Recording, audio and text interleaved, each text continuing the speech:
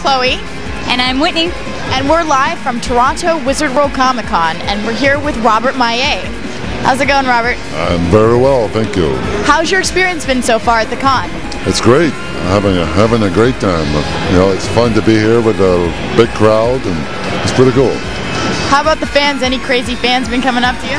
Uh, not some are crazy, but I mean, it's they've been pretty cool, pretty cool people, pretty nice, very nice to me. Yeah. Is this your first Wizard World Con? It's my second one actually, you know, and uh, this one's the best one. Very cool. So you'll be back next year, I hope. Absolutely, I hope so. If I'm invited back, I love to come back. Absolutely. Very cool. So, uh, quick question: What was it like to beat up Sherlock?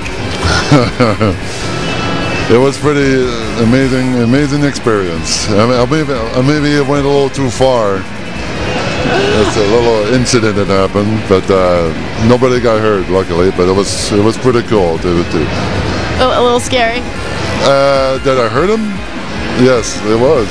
It was. It was. But I mean, it turned out great. You know, I was very happy to be working with those amazing crew and cast. You know, so. Very cool. I would like to beat up Robert Downey Jr. uh, and by beat up, I don't actually mean beat up. Wait, that sounds really bad. I didn't. well, thank you so much, Robert. It's lovely to meet you. Have a good time.